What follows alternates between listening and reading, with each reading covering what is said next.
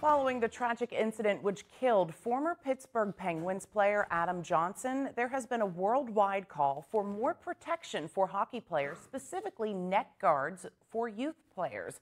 Our Philip Ward spoke with parents, players, and hockey leaders in our area tonight. So, Philip, what are they saying?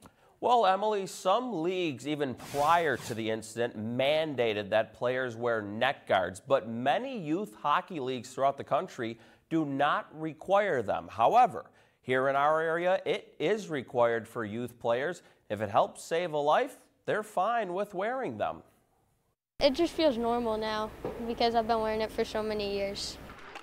Ethan Speedy Greedler plays for the Erie Junior Otters and has no problem wearing a neck guard.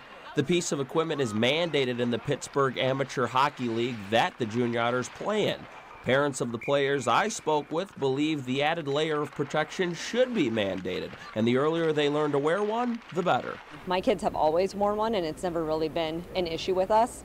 And I think if you start at an early age, then it just becomes a routine thing for them. I have three boys. They've all played. Two of them still currently play, and I do feel that neck guards are very important and they should be mandated. They really don't find it as a big deal. We um, we make sure that they have them on when they hit the ice. We pack extras in case they don't, um, because it's a real simple, thin piece of material that can save your life. Shirt neck guard, so it's built in.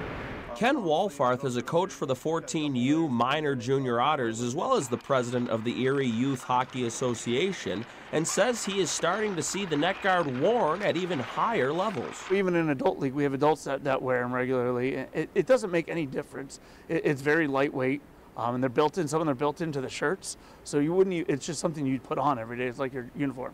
Christian Hill is the Mercyhurst University women's hockey team's athletic trainer and explains how having the correct neck guard can save a player's life. There are some companies out that are building it into the undergear, kind of like a base layer component.